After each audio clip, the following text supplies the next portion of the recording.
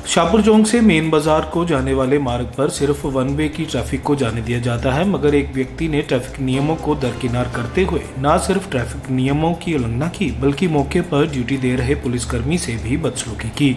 ज़्यादा जानकारी देते हुए पुलिस ट्रैफ़िक इंचार्ज ब्रह्मदत्त ने बताया कि पुलिसकर्मी के साथ अभद्र व्यवहार करने और ट्रैफ़िक नियम तोड़ने पर उस वाहन चालक का चालान काटकर माननीय अदालत में भुगतने के लिए कह दिया गया है।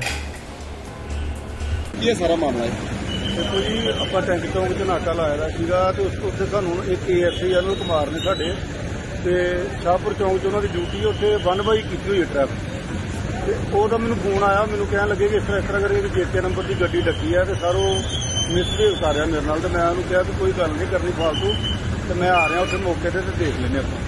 ਉਹ ਆਪਾਂ ਆਏ ਆ ਤੇ ਆਣ ਕੇ ਤੇ ਉਹਦਾ ਅਸੀਂ ਚਲਾਨ ਕਰ ਦਿੱਤਾ ਜੀ ਤੇ ਬਾਕੀ ਉਹ ਕੋਰਟ ਦੇ ਵਿੱਚ ਭੁਗਤ ਲੇਗਾ ਚਲਾਨ। ਸਰ ਉਹ ਮੁਲਾਜ਼ਮ ਵੀ ਦੱਸ ਰਹੀ ਆਪਣੇ ਆਪ ਨੂੰ ਕੋਈ। ਜੋ ਵੀ ਹੋਏਗਾ ਜੀ ਆਪਾਂ ਉਹਦੇ ਖਿਲਾਫ ਜਿਹੜੀ ਬਣਦੀ ਕਾਰਵਾਈ ਉਹ ਆਪਾਂ ਕਰਦੇ ਹਾਂ। ਸਰ ਸ਼ਹਿਰ ਦੇ ਵਿੱਚ ਜਗ੍ਹਾ ਜਗ੍ਹਾ ਨੋ ਐਂਟਰੀ ਦੇ ਬੋਰਡ ਲੱਗੇ ਆ। ਤਾਂ ਵੀ ਲੋਕੀ ਨੋ ਐਂਟਰੀ ਜੇ ਕੀ ਮੈਸੇਜ ਹੈ ਤੁਹਾਨੂੰ? ਆਪਾਂ ਤੇ ਬਾਰ-ਬਾਰ ਲੋਕਾਂ ਨੂੰ ਇਹੋ ਹੀ ਅਪੀਲ ਕਰ ਰਹੇ ਹਾਂ ਵੀ ਨੋ ਐਂਟਰੀ ਜਿੱਥੇ ਬੋਰਡ ਲੱਗੇ ਨੇ ਜਿੱਥੇ ਮੁਲਾਜ਼ਮ ਲੱਗੇ ਨੇ ਉਹਨਾਂ ਦੀ ਗੱਲ ਜ਼ਰੂਰ ਸੁਣੋ। ਇੱਥੇ ਸ਼ਾਹਪੁਰ ਚੌਂਕ 'ਚ ਵੀ ਇਸ ਤਰ੍ਹਾਂ ਹੀ ਆ ਬੋਰਡ ਵੀ ਲਾਏ ਆ ਲਿਖ ਕੇ ਆਪਾਂ ਔਰ ਮੁਲਾਜ਼ਮ ਵੀ ਖੜੇ ਕੀਤੇ ਆ। ਔਰ ਉਹ ਮੁਲਾਜ਼ਮ ਨੂੰ ਵੀ ਉਹ ਬੰਦਾ ਗਲਤ ਬੋਲ ਰਿਹਾ ਵੀ ਤੁਸੀਂ ਮੈਨੂੰ ਡੱਕ ਨਹੀਂ ਸਕਦੇ ਜਾਂ ਕਿਦਾਂ।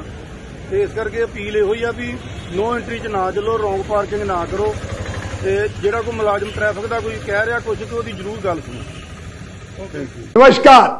ਦੁਨੀਆ ਦੀ ਬਿਹਤਰੀਨ cath lab white medical college and hospital ਬੁੰਗਲ ਚ ਐਸਟੈਬਲਿਸ਼ ਹੋ ਗਈ ਹੈ। ਸਿੱਧਾ ਵਾਈਟ ਮੈਡੀਕਲ ਕਾਲਜ ਆਓ ਇਲਾਜ ਕਰਾਓ। ਸਲਾਰੀਆ ਤੁਹਾਡਾ ਪ੍ਰਾਤ ਤੁਹਾਡੇ ਦੁੱਖ ਸੁੱਖ 'ਚ ਹਾਜ਼ਰ ਹੈ। ਧੰਨਵਾਦ।